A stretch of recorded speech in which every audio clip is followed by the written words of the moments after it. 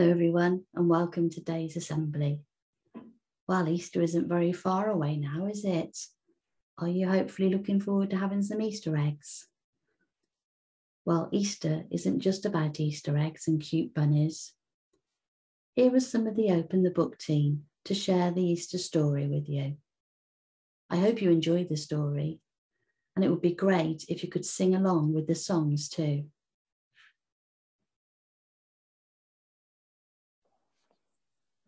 Do any of you keep a diary? I do. I like to write down all the things that have happened during the day, what I have done and who I saw. Sometimes it's fun to look at an old diary and read about what I was doing five or even 10 years ago. A diary is also a good place to record special memories so that I don't forget them. Most diaries are quite personal things and only I and maybe one or two special people will get to read it. In today's story, we meet a man who, many years before, also wrote a diary, a special diary that is read by thousands of people every day as part of the Bible. Let's open the book and read John's story. John was getting old. His hair was grey and in the evenings he found it hard to see what he had written, but he was determined to finish his book about Jesus. He'd spent long hours gathering all his memories together. He was pleased with the way it had turned out, and now it was nearly finished. This final part was all about the last week John had spent with Jesus, and it was important that he wrote down exactly what had happened so that in years to come Anyone who read his book would know that these things really had happened. Demetrius, one of his brightest students, brought John his evening drink. Have you nearly finished? Almost. Would you like to see? Demetrius picked up the parchment from John's desk and began to read. Here's a cross the women watched and waited. During these last three years, they fed Jesus and cared for him. And now they stood huddled together, frightened and upset. What were they to do? What would happen after Jesus was dead? Jesus looked down and saw his mother standing there.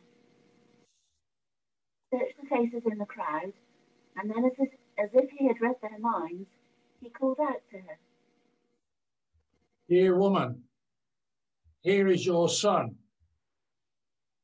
Mary didn't understand what he was saying. Then she looked up and saw John, Jesus' dear friend, standing nearby. Looking, she heard Jesus say to John, Here is your mother. John moved over to Mary and put his arm around her shoulder as together they watched and waited. A little while later, Jesus called out, It is finished. And bowed his head and died. One by one, Mary and the women left. Jesus' body was taken down from the cross and placed in an empty tomb in a nearby garden.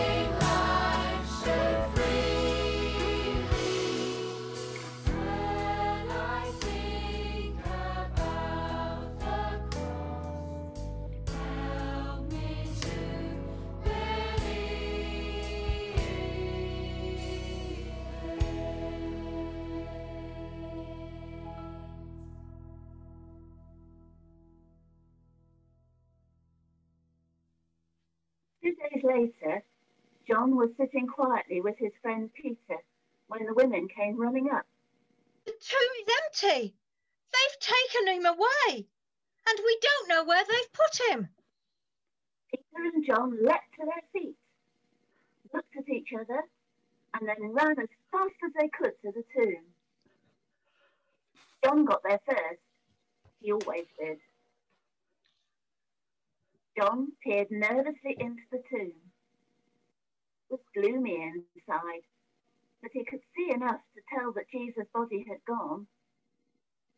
Just as he was trying to work out what had happened, Peter arrived, puffing and panting. He pushed past John, stumbled into the tomb, and then stopped and stared. John crept in behind him. They looked around. They blinked as their eyes got used to the gloom. All that was left was a pile of burial linen and a single white cloth folded up on one side by itself. John looked and smiled to himself.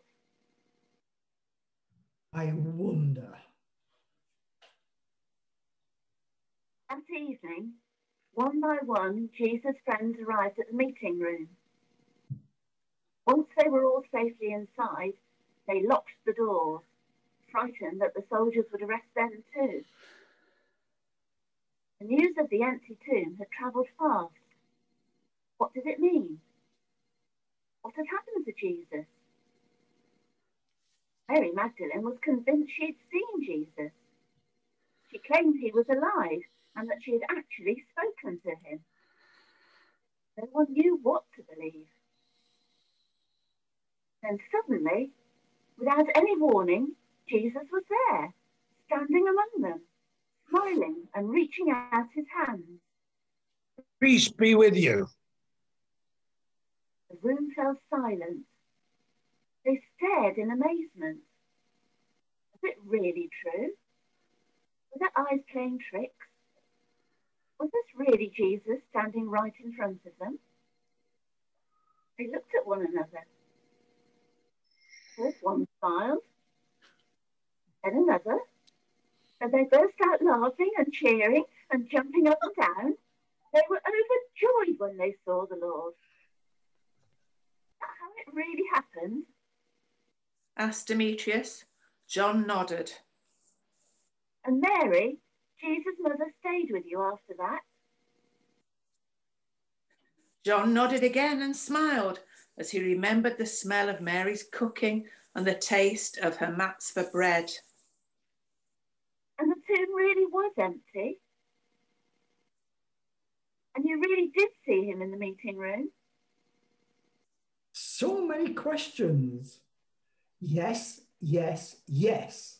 All these things really did happen just as I have written. What an amazing story. And John smiled, happy that the amazing story of Jesus and his friends will be read for many years to come.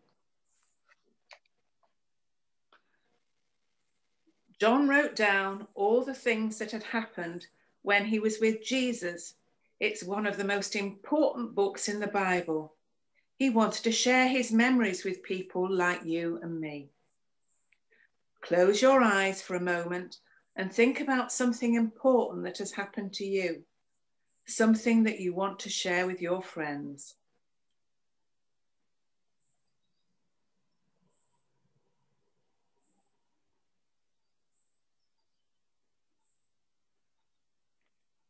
Now I'm going to say a prayer, and if you want to make it your prayer, say Amen at the end after me.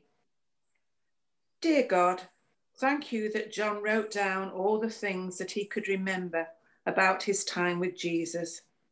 Thank you that we can still read them today. Amen.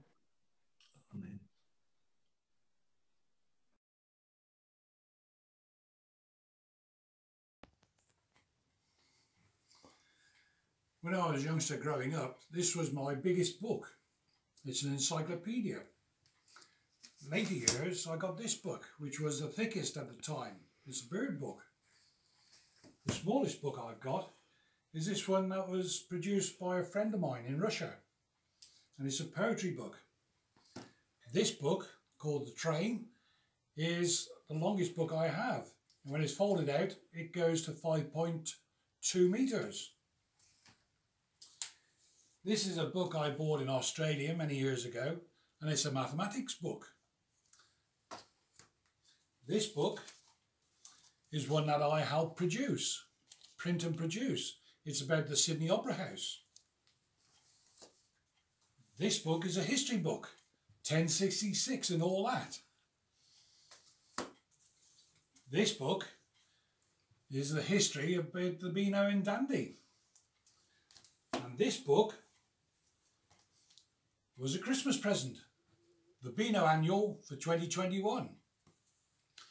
Many years ago, I also had a Christmas present from my godparents, the Bible.